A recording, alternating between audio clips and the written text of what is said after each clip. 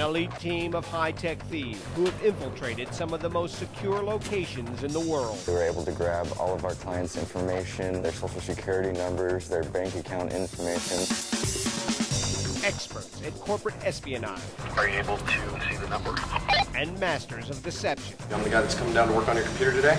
But they are not criminals. Alley-oop, baby. They are paid professionals, We got it, dude. Go get the car. hired to put million-dollar security systems to the test. We took it out. It's off. We always do run the risk of getting caught. I could break my neck right here and die. If I was to break into this particular facility, I would not steal one car, I would steal every single one.